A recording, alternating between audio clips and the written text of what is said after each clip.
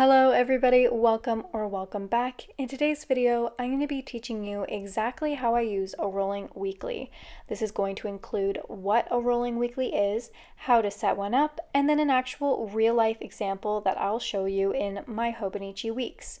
I've been using a rolling weekly for a couple years now, and I have to say it is probably one of my more useful weekly spreads. I'm so excited to be sharing it with you today, so let's get started.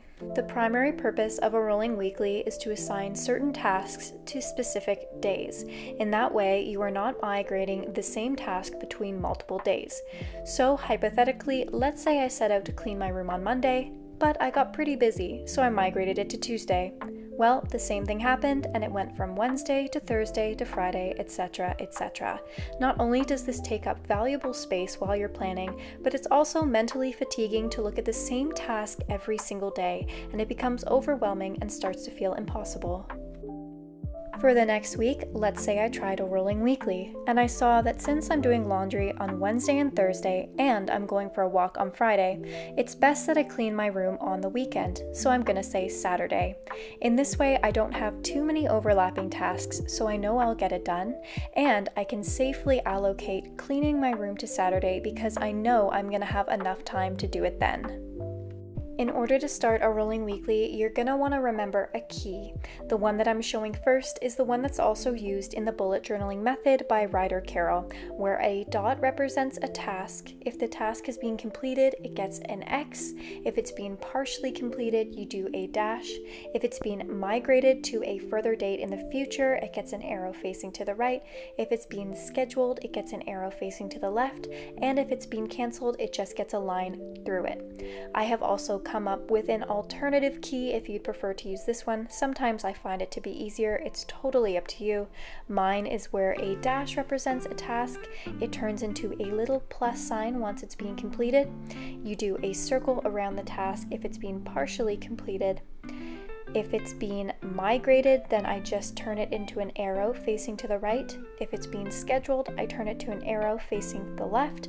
And if it's been canceled, I just extend the dash all the way through.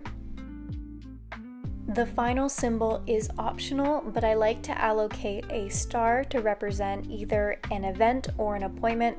It just helps so that when I'm allocating tasks to certain days, I know when my appointments are going to be. Now, to show you a real life example, I chose a week in November that had the most appointments and events. To begin the actual setup of the rolling weekly, you're going to start by writing the letters of the days of the week at the top left of the page. Now, depending if you prefer to have a Monday start or Sunday start, it won't matter. Just make sure that you've got every day of the week there. Underneath, you're going to put the corresponding days of the week, the numerical days. Now, this is optional, but I have found it to be very helpful, especially if you're in a bullet journal rather than a dated planner, such as the Hobonichi Weeks. It just makes it that much easier to reference when you're writing things down. I'm going to start by writing all of my events and appointments first. This is because they already have specific dates assigned to them. I know that I mentioned this step was optional, and it is, but because I'm doing a real life example, I did want to include them. So for this specific week, I know that I have a Chinese herbalist appointment at 3 p.m. It's also one of my best friend's birthday, and my friend Jess is coming to visit.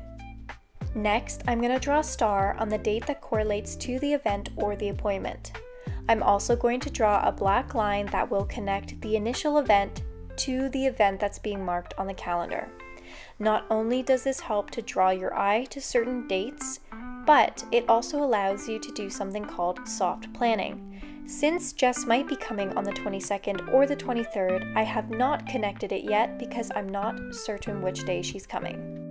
Then, once you're finished with all of your events and appointments, you can now write down all of your tasks for that week.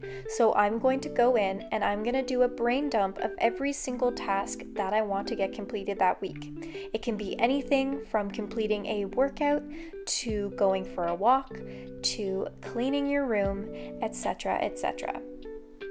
A quick note here is that it is certainly easy to get carried away and to write down every task for the year that you want to get completed, but try and stay realistic and just keep it to the ones that you know you want to get done that week. This will help prevent task turnover. Now is the time that you can designate certain tasks to be completed on certain days. Primarily, you want to think in terms of which events and appointments you already have that day and which tasks you can pair together without it being too overwhelming. So, for me personally, I know I can clean my room and fold my laundry on the same day, but I likely won't have enough energy to get a workout in as well. So, I designate clean room and fold laundry on Monday and then a workout on Tuesday. Now, since I have my Chinese herbalist appointment on the Wednesday, I know that I won't be able to tidy my entire basement on that day, so I'm giving it two separate days for that task to be completed. Now, I'm going to attach a line to the days that I'm certain I want to get that task completed on. For example, I know I want to clean my room before Jess comes, so that's going to stay on Monday. However, although I would like to work out on Tuesday, I'm flexible, and if it moves to another day, then I will just draw a line to the day that it correlates to. Now, hypothetically, I would go through and start crossing off tasks that I got completed. So if I did clean my room, it would get an X. If I did fold my laundry, it would get an X. Maybe I didn't have time for that workout, so it's getting migrated.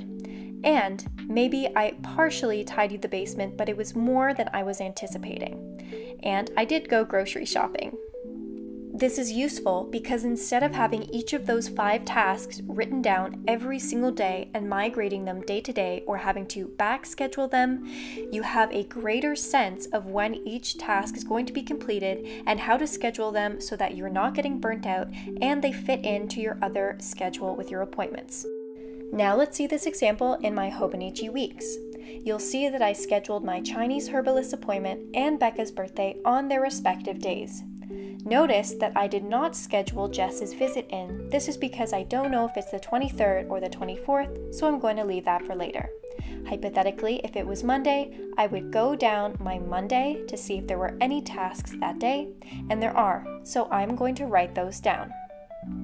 As a side note, I do understand how the system may seem overwhelming at first, but rest assured that this system is really helpful once you get used to it and start incorporating it into your planning. For me personally, it just makes sure that I don't take on too much work per day. Anyway guys, that is it for today's video. I hope you found this helpful and I hope I did an okay job explaining how to use a rolling weekly. Let me know in the comments down below if you have experience with a rolling weekly and how it's worked out for you. Thank you so much for watching. If you enjoyed this video, please consider subscribing and giving it a huge thumbs up. And I will see you next time. Stay cozy and bye-bye.